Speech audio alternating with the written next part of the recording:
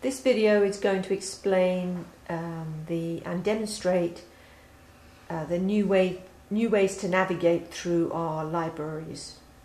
So here's my menu, utilities, library maintenance, pattern library, and I'm going to hit move. Okay. Now on this screen we have our list of catalogs, pattern catalogs. Um, and we can scroll down through this list either by tap tap tap or by using a fast way to scroll is to use the scroll bar here.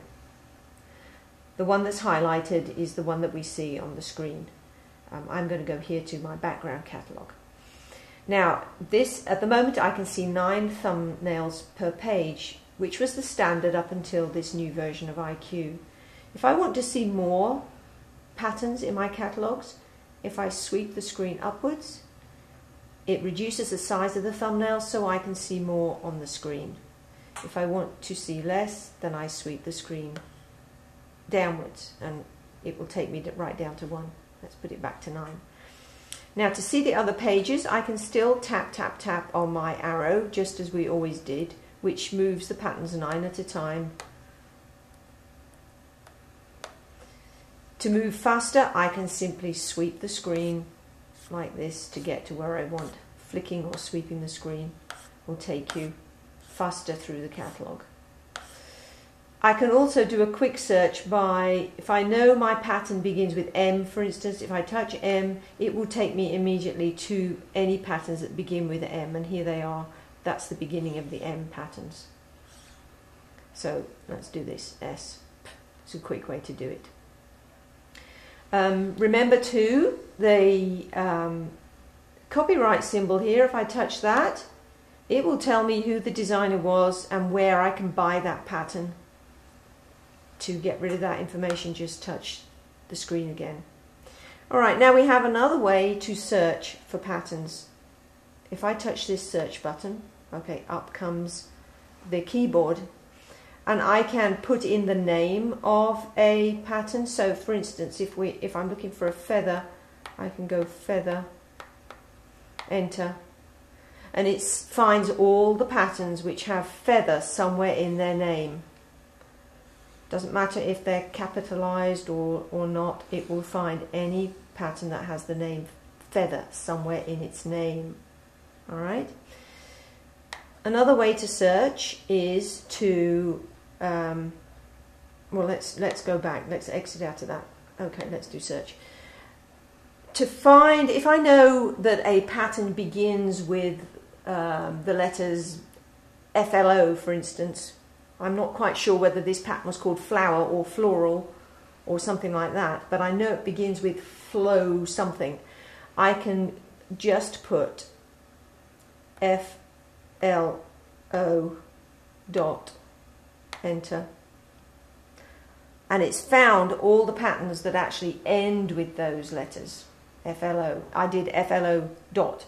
So it found every pattern with flow at the end. That isn't what I wanted, so I'm going to search again. I want to find the designs that have FLO at the beginning.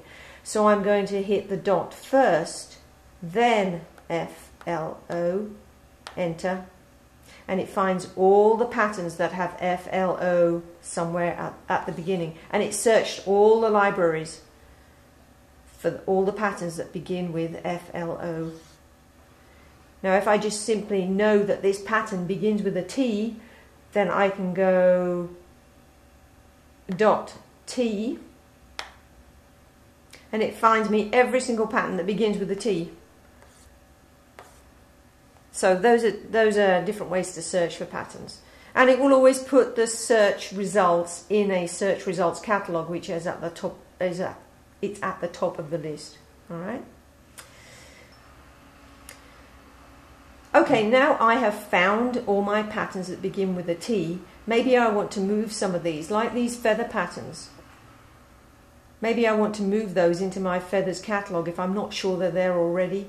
So I'm going to touch this, this, this, and this. They're all feathers. Now, I'm going to sweep the screen to, to see the rest of my patterns. Here is two more feathers. I'm selecting those. As long as I keep sweeping the screen, IQ will remember the ones that I have already selected. Here's another feather one. Here's another feather, another one, another one. So I'm selecting all the ones that are feathers because I want to move them. Um, these are unusual feathers, so yeah, I'll select those too. Alright, I've selected all the ones I want. So now I hit move. Would you like to leave copies of these patterns in this catalogue? Uh, no, I don't want to. Okay, select the destination catalogue. And in this case, I'm going to put them in a new catalogue, which is already highlighted. So I'll select, and I'll just call this, uh, oh, oh, oh dear, uh, that's funny spelling, that's not right. So I'm going, I want to get rid of all those letters. We have a clear button here now, as well as a delete on the, on the screen.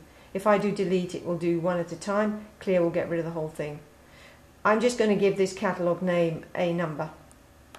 All right, enter. Now all those patterns that I selected are here in 1, 2. So as long you can select as many patterns as you like to move as long as you use this action. If you use this, you cannot. If you use the arrow, you can select this, but as soon as you use the arrow to navigate to another page, oh, and I press the wrong button. As soon as you press the arrow to navigate to another page, it will have forgotten. As long as you're using the sweeping action, it will remember all the patterns you've selected. Okay? So that's a great way, that's a really speedy way. That's really useful when you download a lot of patterns and they come into your downloads folder. You can organize them, move them to where you want them to go very quickly and easily. Um, also, we scroll right down to the bottom of the list. Here's something new. We have a recycle bin. If I touch that, it has all the patterns in which I have deleted. So it's one last chance for you to say, oh, I deleted that by accident. You can come here to the recycle bin, select the one you mistakenly deleted and put it back where you want it. Um, eventually those will drop out because it only holds so many. It doesn't keep adding there. It will drop, drop them out. Uh, yeah, so I hope that helps you understand the new navigation features of IQ.